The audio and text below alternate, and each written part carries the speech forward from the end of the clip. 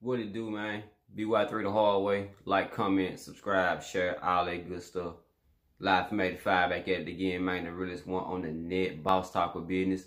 Make sure you subscribe to that channel. Like these videos. Share these videos. Don't skip no ads. Alright, man. I had to go open the door for my kids. They're here with me now. Hey,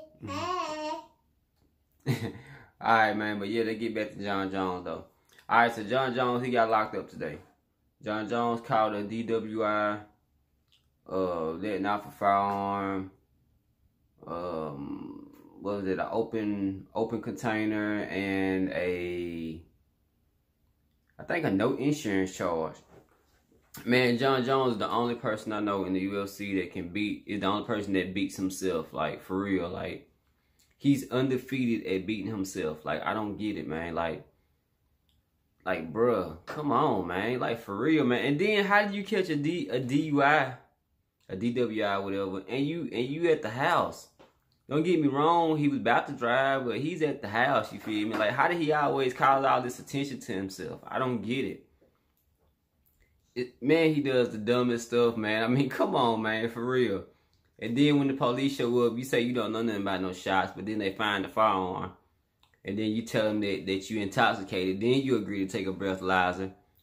Man, it's like he just, he is really trying to throw his career away, man. Like, for real, bro. I mean, what are you thinking about, man? Like, what are you thinking about, bro?